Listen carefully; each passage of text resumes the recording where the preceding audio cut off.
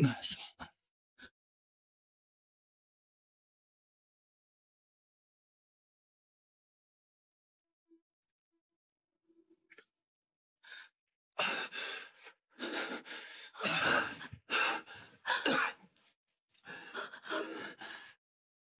무슨 일이야? 심아, 왜 그래, 심아?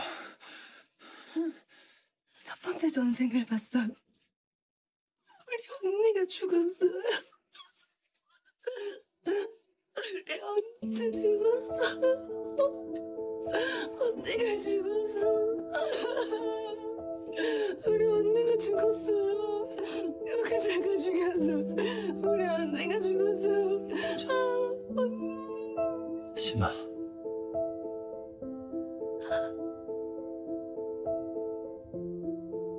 아니야.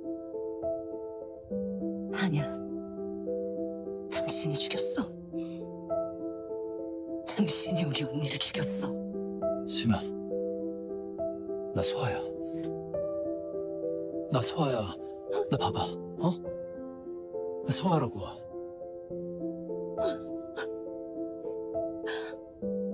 어떻게? 내가 다 어? 아니야, 아니야.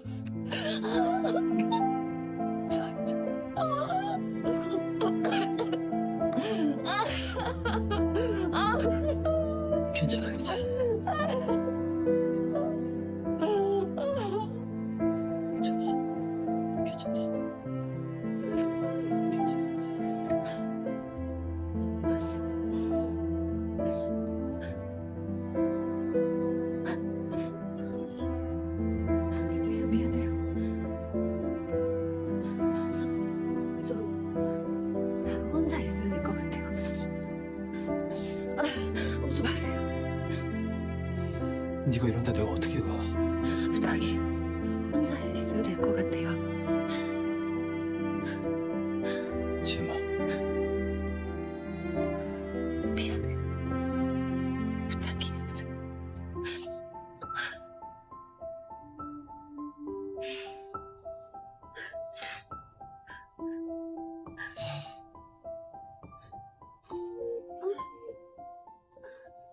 연락 줘.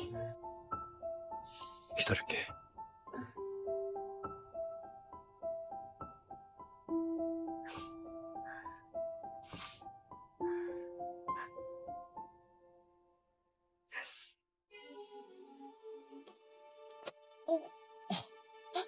뭐야?